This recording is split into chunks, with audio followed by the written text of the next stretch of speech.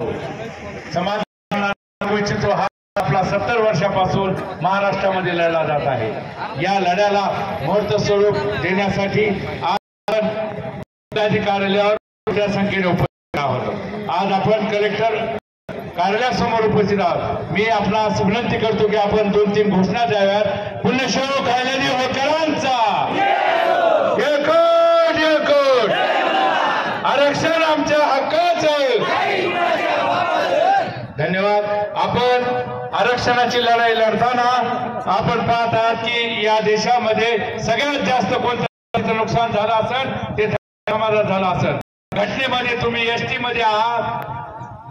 केंद्राच्या आरक्षणामध्ये तुम्ही ओबीसी आहात आणि महाराष्ट्राच्या आरक्षणामध्ये एनटीसी मध्ये आहात. समाज बांधवांनो ही आपल्या समाजाची घोर चेष्टा आहे.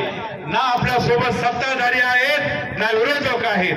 आपल्या समाजाचं जर मतदान जर पाहिलं तर महाराष्ट्रात दोन कोटी असलेला समाज हा महाराष्ट्रात पंच्याहत्तर निर्णायक विधानसभा मतदारसंघात आणि बारा ते तेरा लोकसभेत निर्णायक मतदारसंघात आहे.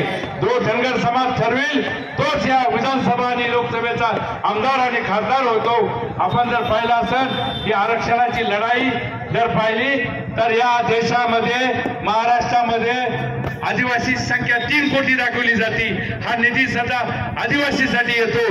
ऍक्च्युअल जर पाहिलं खरं आदिवासीची लोकसंख्या एक कोटी आहे. उर्वरित दोन कोटी आहे. हा निधी सर्व राज्यकर्ते हडप करतात. त्यांच्या स्वीट बँकेत पाठवतात. त्यांच्या बँकेत पाठवून देतात. यामुळे आपल्या समाजाचं नुकसान झालेलं आहे. या नुकसानासाठी आपण शासनाला पंधरा नोव्हेंबरची डेडलाईन दिलेली आहे. पन्नास दिवसाचा आमचा निर्णय नाही झाला तर आम्ही परत समाज बांधव सगळे रस्त्यावर उतरू. एवढं सर्वांची जय अहिल्या जय मल्हार जय महाराष्ट्र. धन्यवाद.